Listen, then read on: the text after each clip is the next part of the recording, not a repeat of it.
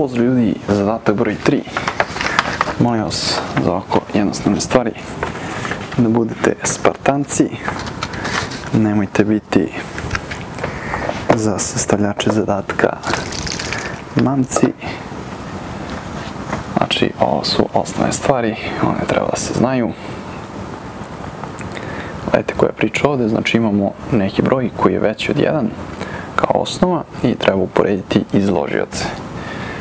Što nekako zanimljiv taj naziv izložilac, kao ono, da izloži.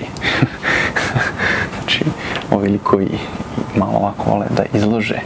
Jel? Znači, ako imamo osnovu koja je veća od 1, onda kako izgleda eksponencijalna funkcija? Znači, on izgleda na ovaj način. Tako. Nuli smo jedinica i strogo smo rastući. To znači da je, ako je vrednost veća, to znači da je zapravo x manje od y. Je tako? Znači, prosto se prati ovaj znak, prati se ovaj znak koji stoji ovde. Koliko je osnova veća jedinice.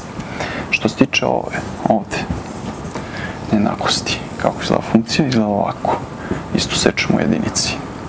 Pazite, mi zapravo, znači kad se povećavamo, mi smo sve manje, tako. Zamislite 0,2 na 1000, pomnožite 0,2 puta 0,2 puta i tako 1000 puta, znači to je jako mali broj.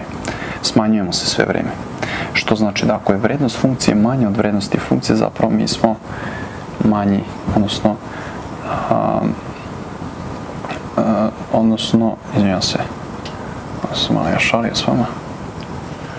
Znači, što je vrednost, što je izložilac veći, to je vrednost funkcija manja. Što znači da je x, a, x ovde, znači što je on veći, ovo je manje od ovoga. Znači mi smo manji zato što smo desno, odnosno x je veći od y.